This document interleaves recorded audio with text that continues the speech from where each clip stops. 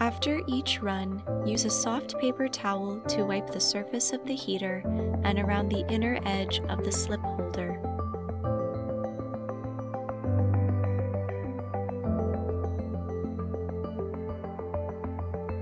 Insert the paper towel into the hinges to absorb any excess liquid remaining after the run.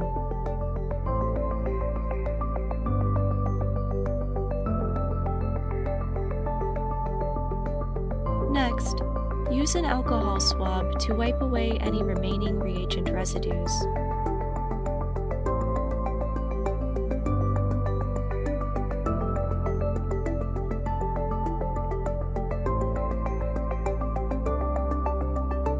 The chamber lids should also be cleaned according to the chamber lid cleaning protocol.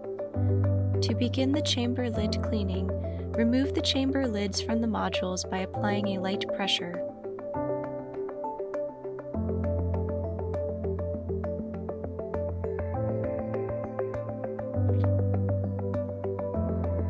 Soak the lids in a 1% bleach solution for a maximum of 15 to 20 minutes, as prolonged exposure may damage the chamber lid.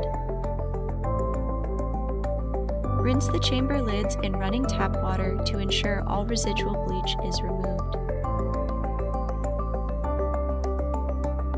Allow the chamber lids to air dry before use.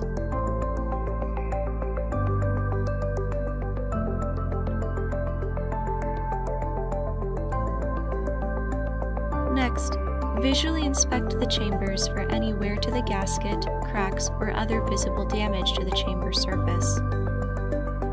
Finally, inspect the tubing and pumps for any visible leaks or salt buildup.